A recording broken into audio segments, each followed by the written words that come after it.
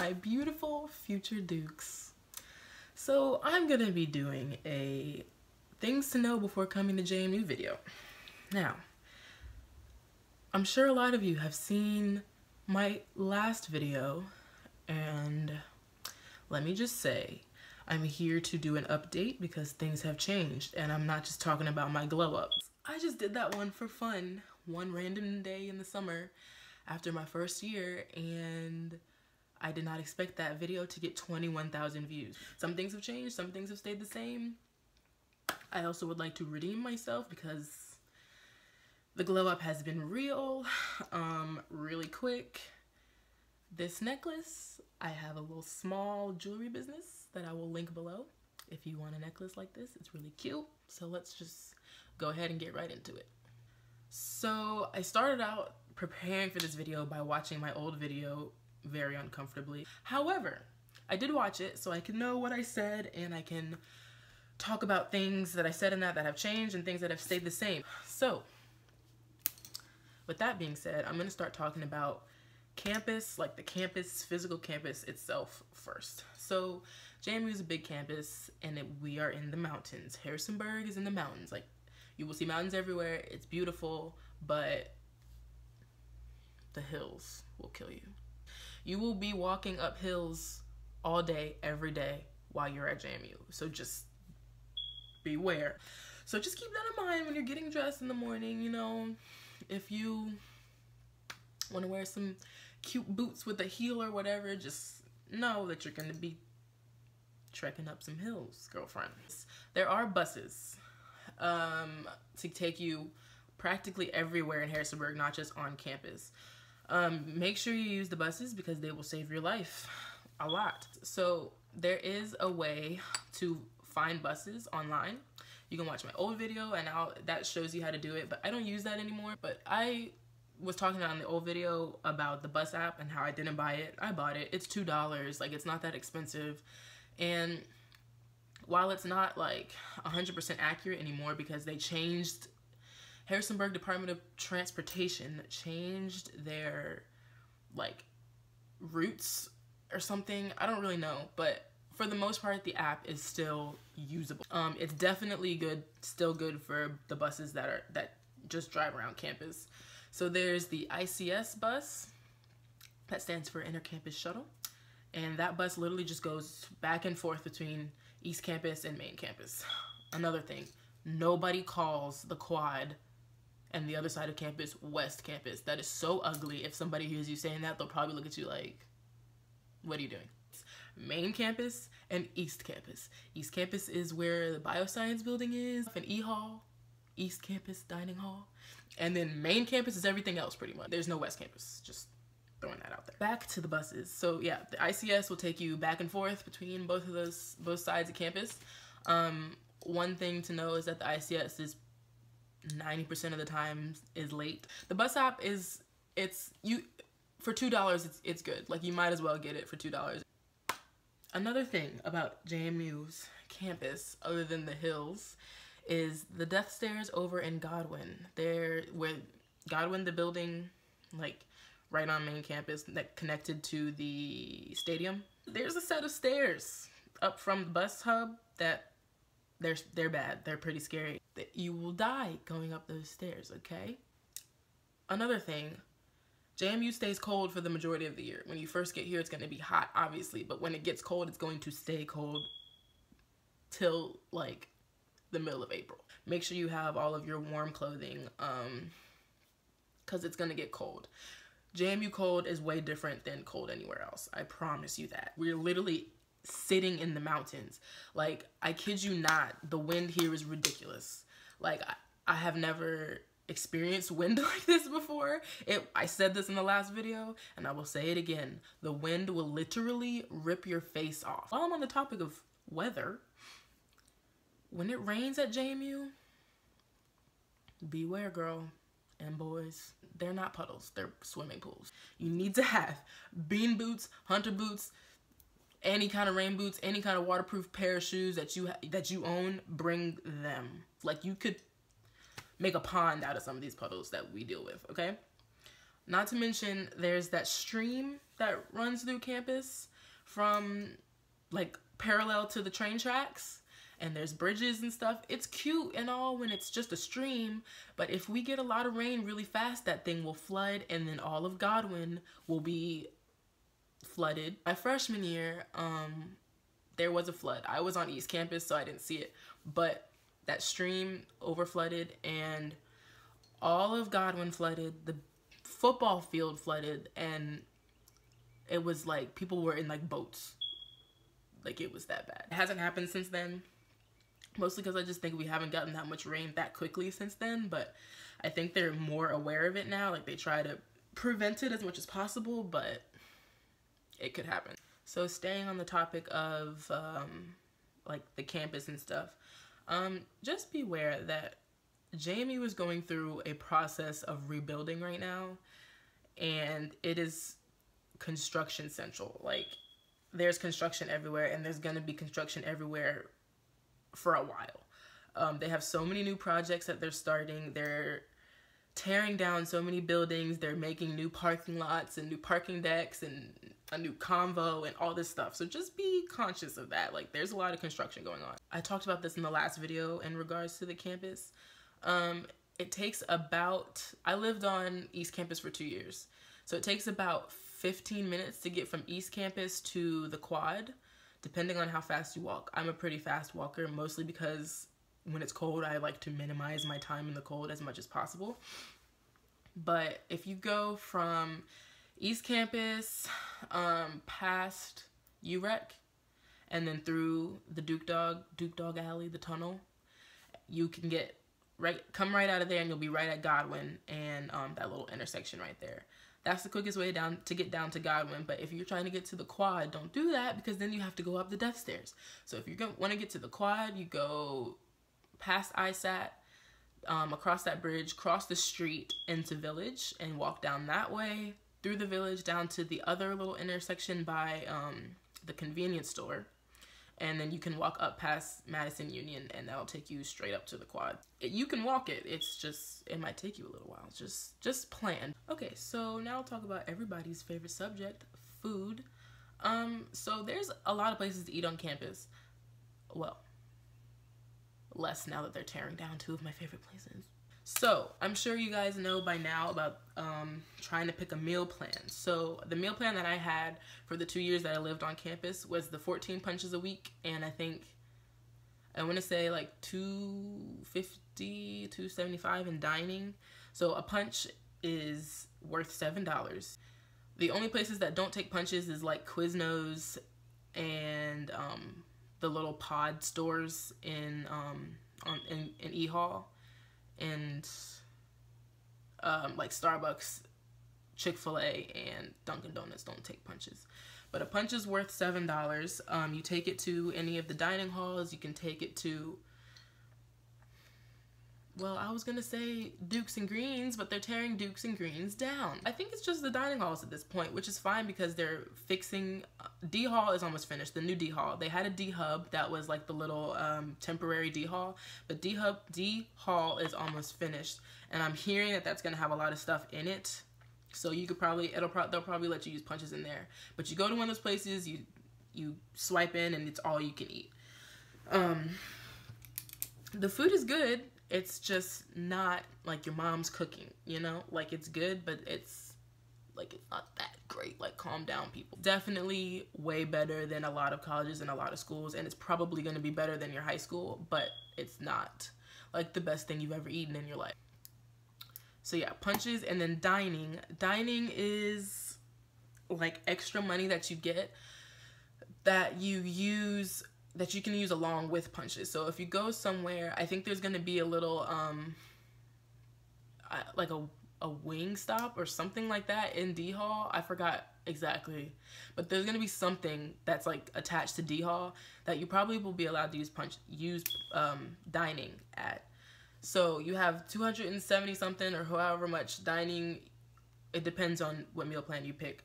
But you have the dining dollars on your card and you can use those at um, Starbucks, Chick-fil-A, Dunkin' Donuts, um, and I'm assuming you'll be able to use it at the little wing place that they're putting in D Hall. You can also use dining at the all the vending machines. So, while I'm still on the topic of food, there used to be Mrs. Green's and Duke's slash Top Dog. Both of those are being demolished. So you might have gone there with a friend if you were here before, you might have gone there on their visit, but they're not going to be here anymore. I think the best meal plan is the 14 punches a week because that's two punches a day. If unless you know for a fact that you're gonna get up every single morning and go to one of the dining halls for breakfast, you don't need more than two punches a day, honestly. So another thing about E-Hall is that E-Hall brunch gets crazy. I did talk about this in the last video. I haven't been as much this year because I live off campus now and I have um, five punches a week, so much less punches. But it it still gets crazy especially around 11 o'clock because that's when people are getting up on the weekends and they're going to go have brunch. You will be waiting in line. Just be aware. If you don't want to wait in line, you need to go before like 10:30 or after like 12:30. I feel like E-Hall brunch is probably the best time to eat at E-Hall. Like it's really good. It's just like a staple of your freshman year. I know I was talking about Starbucks and Chick-fil-A um, and Dunkin' Donuts Chick-fil-A is on main campus behind Varner House. Um, when you're trying to figure out how to get to the quad um, using the bus app, Varner House is the stop you'll use for the quad. Um, because you get off, it'll take you to Varner House and you just walk across the quad and there's all the quad buildings and the dorms on the quad and the actual quad. And then at the end of that big long walkway is um, Carrier Library. But back to my point um, Chick-fil-A is behind, like right behind Varner House. Then there is a Starbucks truck and two other food trucks that are right next to Chick-fil-A. Um, one of them is a, I think it's, it's called like Nacho Poppies or something. It's like a Mexican thing. And then the other one is called Fresh. Or no, it's called Fueled. Fueled. And that one you can get, it's like um, Asian food kind of. You can get ramen. They have really good ramen. You can use a punch at those two um, food trucks. And then there's the Starbucks truck, which like I said, you can use dining there or you can pay with real money. Um, and then there's also a Starbucks in Carrier Library, which is the one that's on the quad. Um, and then there is a a Starbucks on East ECL, East Campus Library. They tell you on your visit that you should be calling that library Rose um, to pay respect to President Rose. Um, but I'm gonna be honest with you, nobody calls that library Rose. Everybody calls it ECL for East Campus Library. But yeah, there's a Starbucks in there, and then I guess there's only gonna be one Dunkin' Donuts that's in SSC, which is the giant Student Success Center, which is the giant building on literally on the other side of campus, the complete opposite from East Campus. Um, you can't miss it. You can see it. There's one on the there's a Dunkin' Donuts on the first floor of SSC. SSC is also connected to the health center, so the health center is right around the corner. Okay, so I guess um, since I was just talking about JACards, um, really quick, you can um have flex on your JACard, which it's it acts as pretty much like a debit card. You put money on it, and then um, that's your flex account. So you have flex, dining, and punches that are connected to your JACard. Flex is just straight up money. Dining is like you can only use it for food, and then punches are punches. But you can put more flex on your card um, at these little kiosk things. Um, there's one in the bottom of ISAT, like on the basement floor of ISAT. There's one in Festival. There's one in Carrier.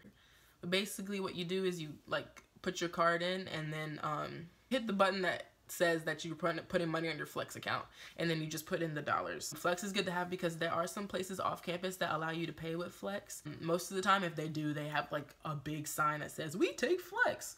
And then also you need Flex to print anywhere on campus. You can also use Flex at the any of the dining places on campus too. Okay, this next little tidbit is um, about getting around Harrisonburg.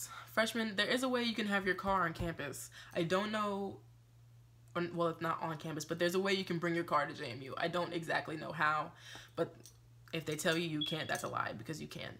Um, I don't know, you gotta call someone and figure that out because I don't know much about that. But there is a way that you can have your car at JMU your freshman year. There are freshman parking lots that you can park your car in. Um, but you really don't need it because of the buses. You'll be walking pretty much everywhere you need to go. And then there's the buses that will take you anywhere in Harrisonburg that you need to go. Um, there's the Walmart that is near campus is you can walk to that Walmart. Like it's you just go to East Campus, you walk like through the parking lot, festival parking lot, paved path. And it didn't used to be paved, but it's paved now, so it's even easier to get to Walmart. You just walk down that path, cross the street, and there's Walmart, there's Chipotle and stuff over there. Like, there's a whole bunch of stuff over there. If you're gonna go to the mall or Target, um, buses will take you there and buses will take you home. However, if you get a bus that will take you to the mall, make sure before you go that there is a bus that will take you back to campus because um, the buses stop running at the most random times on like throughout the week. So there might be a bus that'll take you to the mall, but there will be no bus to take you back to campus. And it's not a fun walk from the mall back to campus. Literally, the buses are your best friend. Just use them.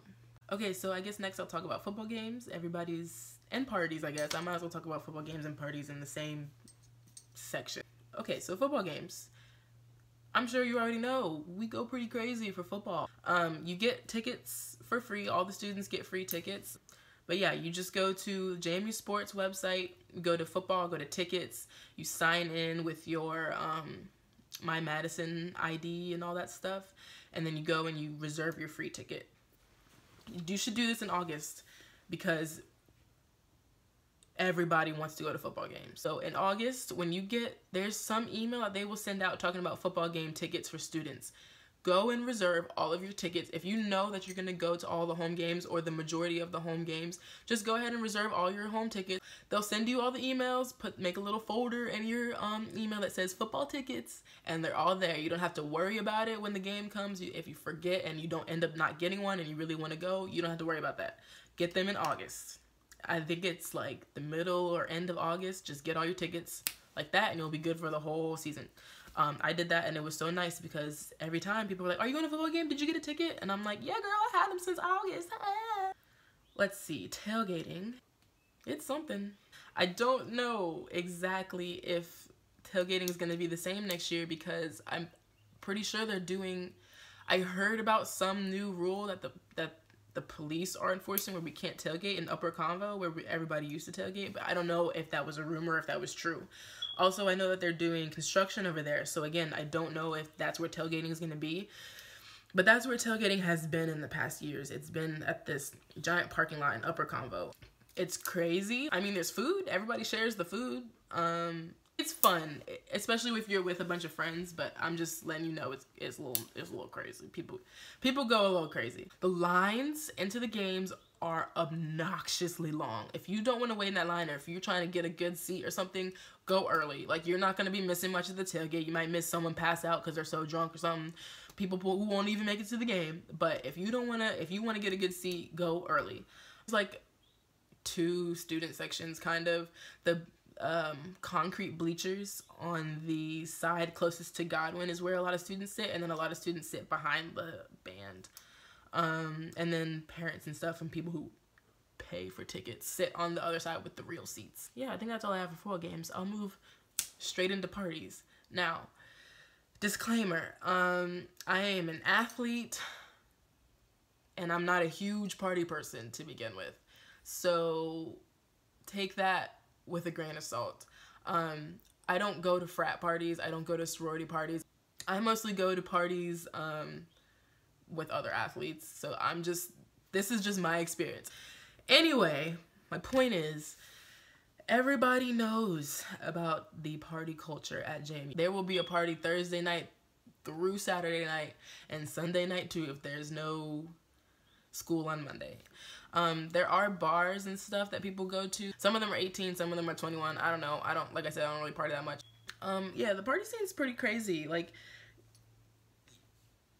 there if you want to go out there will be something like don't don't worry there'll be something don't feel like you have to go out if you are not a party person because you're not missing much be um, aware of the police because they are fully aware of the party culture at JMU and they will shut parties down quickly.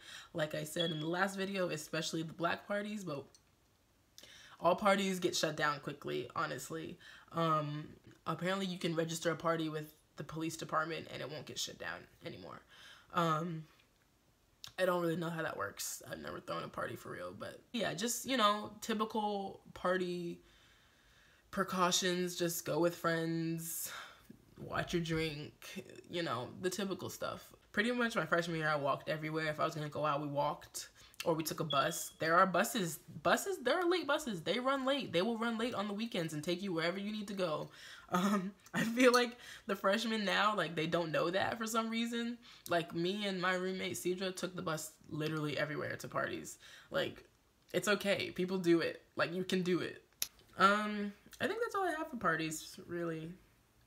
Okay, so now I'll talk about um, my Madison which is the like online website that you use to register for classes and um, you check your GPA and your transcript and your grades and all this stuff. You can check um, how much dining you have left, how many punches you have left, how much flex you have on your card. Um, they put holds on your account if you don't pay something. Um, basically, my Madison has everything. Make sure you change your password when it sends you the email because if you don't, you will be locked out and you have to deal with IT people and that's annoying. There's this app app called Duo and you have to get it to be able to log into My Madison and Canvas now. Canvas is where all your classes are. So where your teachers will contact you, um, they'll use Canvas. Um, you go there to, you know, turn in assignments. Um, there's uh, teachers will put announcements on Canvas. Uh, you use your like regular JMU login for Canvas, um, and your password will automatically change on Canvas whenever you change your password on My Madison. Um, but yeah, those are the two big websites that you will always be using are Canvas and My Madison. Also, your email. Um, make sure you set up your email. Uh, they should send you in a some kind of notification. I don't really remember exactly when I set up my email, but it's it's easy. Just be just know that you will get a buttload of emails all the time. So if you know you're supposed to be getting some an important email from someone, you're gonna have to look for it because you're gonna get a lot of random spam stuff from different organizations. There's also the Outlook app that's nice. It'll notify you. I didn't used to have it and it was annoying. It's to not have it. You should get it. There's a Canvas app, you can get that, and then the only thing that there's not is My Madison. There's no My Madison app that I know of. But you need the Duo app, you need Canvas, and you need the Outlook email app. Don't miss your enrollment appointment. I did not know really anything about my Madison. I didn't understand anything about it mm, before my freshman year. And I didn't know that there was an enrollment appointment, but luckily I got all the classes I needed. Um, when you set up your um, My Madison, go to your student center, go to um, register or like is a button that says enroll go there and look and see when your enrollment appointment is. It'll be sometime in august. Before that you need to go to enroll and then search. So you search for all the classes you need. You can go to um, when you go to um, springboard they'll your advisor will tell you about the classes you need to take and um, they should help you find the classes you need to take before your enrollment appointment, go to My Madison, go to enroll, and go to search and type in the classes that you're looking for. Put them in your in your shopping cart. Um, that way, on your enrollment appointment, all you have to do is click enroll. Um, after your enrollment appointment, it's open enrollment, which means that everybody at JMU can enroll anytime they want. So just make sure you don't miss that. I missed mine my before my freshman year and I got all my classes luckily, but it was scary because I didn't think I was going to get all my classes because I didn't know what an enrollment appointment was. So now you know. Don't be like me because you might not get lucky and get your classes. Another thing about academics that they might not tell you is that you get two repeat forgives. So what a repeat forgive is that if you completely blow a class, like if you get a horrible grade, you can take the class over, use a repeat forgive code, and um, you will get whatever grade you got the second time is the grade that will go on your transcript. And that is the grade that they'll keep. That's the grade that will go towards your GPA. You get two of those for your four years.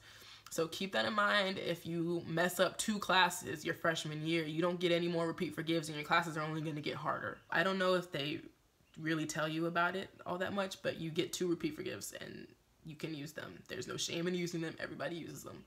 So I guess the last stuff I have is just random stuff. Um, the first thing I want to say is do all your Frog Week stuff.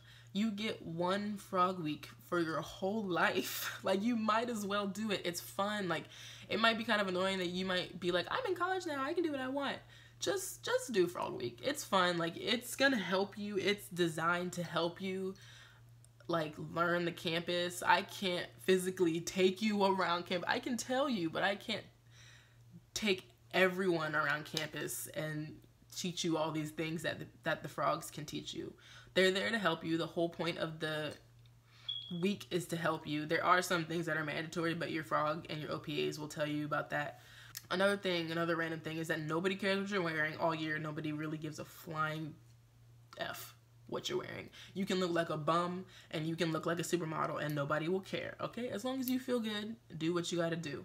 Um, if you're working this summer and you get like tips or something, I worked at a place where we would get tips and then it would just get distributed like throughout all of the employees. Um, ask for them in quarters so that you can wash your clothes in the dorms. Um, you can also use Flex uh, to wash clothes, but I didn't always have Flex. I had a bunch of quarters and that was easier for me to use quarters. So if you can collect quarters this summer, do that. The libraries get packed on the weekend morning, Saturday morning and Sunday morning, especially Sunday morning, they're full. So if you want to get a good seat in the library, go early.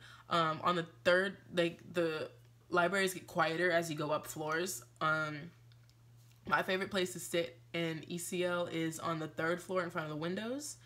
Um, and then my favorite place to sit in Carrier is on the third floor.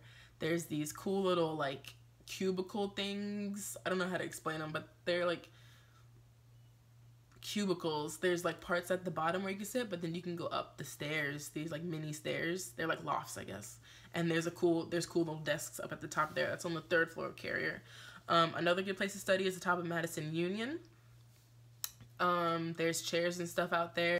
Also in Madison Union that I just found out this year, there's a meditation room.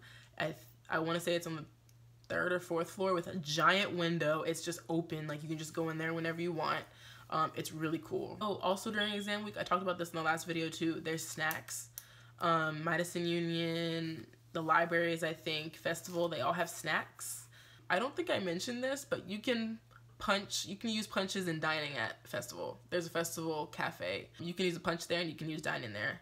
Forgot to say that when I was talking about food. I think the last thing I really want to say is that it's gonna go by so fast. Like I know people are saying this is supposed to be the best four years of your life.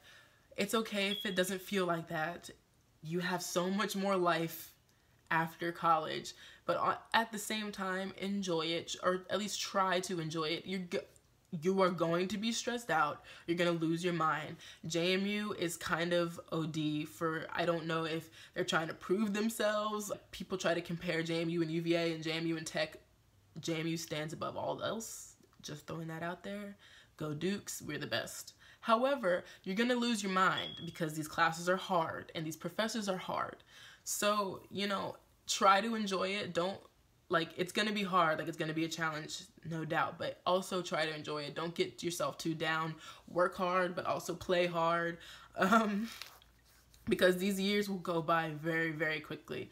Like i know i sound like your mom and dad but they will. Like i never understood how people say time flies until now like until i got to college. Like i i'm about to be a senior. I kid you not it feels like i moved into my freshman dorm in chesapeake hall last year.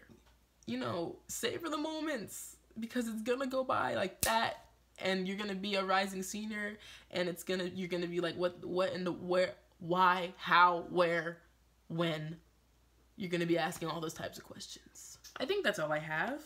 Um if you have questions please please ask me in the comments. I'll answer them as quickly as i can. Um you can also dm me i guess on twitter and Instagram. They're both public. Um, it's the same as my um, name on here, Jaja Jantsen, T before S. My Instagram has two underscores at the end. My Twitter does not, I don't think. Um, also, sorry for getting this up so late. Finals week is crazy. And the week before finals week is crazy. But it is up now, and I hope you guys learned something from it and enjoy it. So, yeah.